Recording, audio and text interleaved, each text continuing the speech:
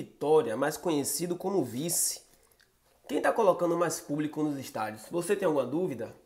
Se você tem dúvida, não se prepare, não se preocupe, porque essa dúvida sua vai acabar agora. Esses dias vocês viram aí, né, o pessoal na rede social falando, nunca compare, nunca compare, e não pode comparar a Bahia com Vitória, principalmente se falando de história, de grandeza e de torcida. Então eu fiz uma pesquisa e a gente vai tirar logo essa dúvida de, de uma vez por todas, para acabar com essa agonia aí. É, outra coisa que eu vou falar também no vídeo de hoje. Partiu São Luís, Bahia já foi lá para São Luís, vai enfrentar, o, vai enfrentar o Sampaio Correia pelo Brasileirão. Teremos rodada dupla na Fonte Nova. Rodada dupla, velho. Porra, quanto tempo que não tem isso, velho. Bom demais, eu adoro rodada dupla. Antigamente tinha rodada dupla com o time do time do Júnior, né? Bahia, o time da base do Bahia, depois jogava o profissional. Fica aí no vídeo que você vai saber também sobre isso é sobre Ignácio. Vamos falar sobre Ignácio aqui. Eu, trouxe, eu trago alguns números de Ignácio que vocês vão ver que coisa maravilhosa. Bom, antes de mais nada, sejam todos bem-vindos aqui ao canal, canal Tom Bahia, canal da Nação Tricolor, onde você fica sabendo sempre de assuntos relevantes do nosso Bahia. Você é Bahia? Se você é Bahia, você está no lugar certo. Aqui é seu lugar para ficar sabendo sempre desses assuntos relevantes. Se você gosta desse conteúdo, se inscreve no canal, é, assista o vídeo até o final. Se você gostar, volte aqui, deixe seu like e deixe seus comentários. E também compartilhe com seus grupos do WhatsApp. Bom, bora começar logo esse vídeo falando sobre Bahia e Sampaio Corrêa. Partiu São Luís. Vou deixar aí na tela para vocês olharem a foto dos jogadores indo para para lá para São Luís para jogar contra o Sampaio Corrêa e tá na hora do Bahia dar uma porrada nesse Sampaio Corrêa lá dentro. Timezinho chato, viu, velho? Esse Sampaio Corrêa, vou te falar, viu? Mas está na hora do Bahia trazer um bom resultado e eu acredito sim, velho, que dá para trazer um bom resultado. Você acredita? Deixa nos comentários aí. Eu acredito sempre, então nem me pergunte. É, outra coisa importante para a gente falar, rodada dupla na Fonte Nova. Velho, quanto tempo eu não vou para rodada dupla na Fonte Nova? Pois é, Bahia e Ituano. Próximo jogo do Bahia aqui na Arena, teremos rodada dupla. O jogo vai cair uma sexta-feira, nove e meia da noite, Bahia e Ituano. É, vou deixar na tela também o card aí para vocês acompanharem comigo. O que é que vai acontecer? Às 17h30 o time feminino vai jogar e velho, chegue cedo para assistir esse jogo, porque vale esse jogo vale vaga para a próxima fase. As meninas ganharam fora de casa de 1 a 0 e vai decidir agora a classificação aqui. 17h30 o jogo do futebol feminino. Após o jogo do futebol feminino, às 9h30, o jogo do futebol masculino. Inclusive, eu fiz até um Twitter sobre isso. Eu coloquei assim: ó, a galera vai comer água nas, no jogo das 17h30 e quando for o jogo das 9h30 vai estar tá, vai tá todo mundo já bebinho, bebinho, bebinho para assistir o jogo do time masculino. Mas é isso aí, galera. Vale muito a pena, viu, velho? Vai ser um evento muito bom. Eu gostei. Bom, vamos pular agora para o próximo assunto. Rachaduras na Fonte Nova. Pessoal filmou e saiu nas redes sociais aí vários vídeos é, de rachaduras no estádio da Arena Fonte Nova. Bom, a gente, eu mandei recado pro Bahia também, várias pessoas, vários torcedores mandaram. Eu mandei até um direct também pro pessoal da Fonte Nova. Eles responderam uma nota oficial e eu vou ler aqui para vocês, vou colocar na tela para vocês acompanharem.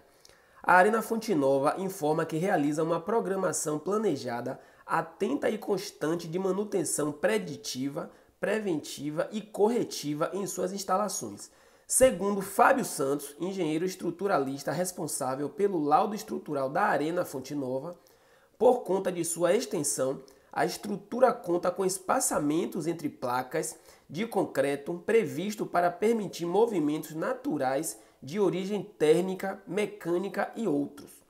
Essas estruturas recebem manutenção preventiva e não representam nenhum tipo de risco estrutural, finalizou. Então, galera, vocês que estavam preocupados, tá aí a resposta da Arena Fonte Nova, dizendo que não precisa se preocupar com aquela rachadura que faz parte do projeto, ok?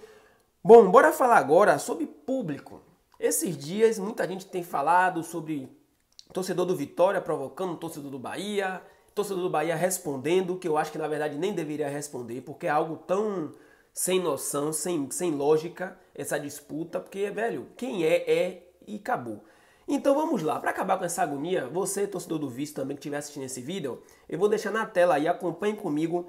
Eu só fiz uma rápida pesquisa dos cinco últimos públicos dos jogos do Vitória dentro de casa e dos jogos do Bahia dentro de casa. Bora começar pelo do menor para o maior. é, últimos, dez, últimos cinco jogos do Vice. Vitória e ABC. Vitória da Bahia e ABC. 26 mil pessoas. Nossa. Vitória da Bahia e Paysandives. 26 mil pessoas. Ixi, deu ruim, hein, Bahia? Vitória e Figueirense. 3.785 pessoas.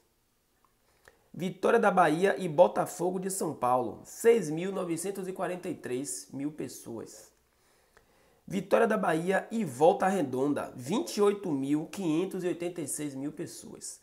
Público total nesses cinco jogos, 91.314 pessoas. Bom, agora vamos embora para o público do Bahia.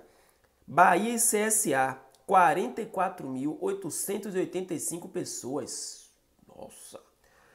Bahia e Náutico, 28.484 mil pessoas.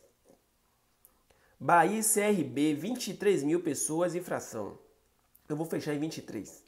Bahia e Grêmio, 42 mil pessoas e fração. Vamos fechar em 42. Bahia e Novo Horizontino, 19.560. Total desses cinco jogos, 157.929. Bom, 91 mil contra 157 mil, eu acho que fala muita coisa.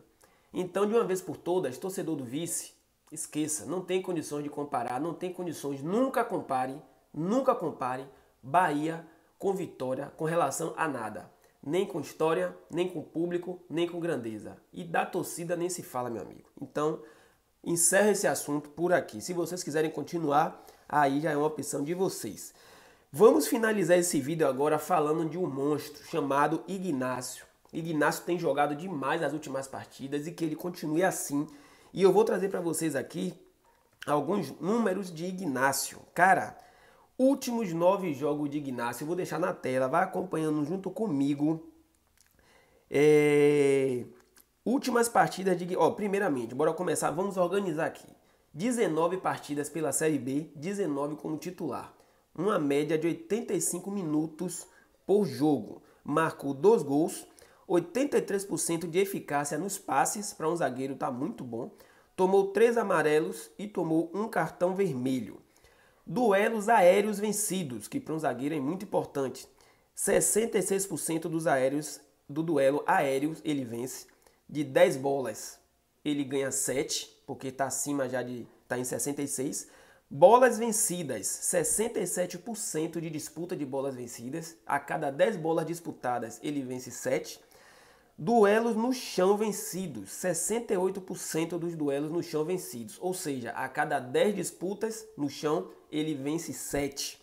Falta 0.9 por jogo, ou seja, ele tem uma média inferior a uma falta por jogo, Ignácio. Calma que tem mais números ainda.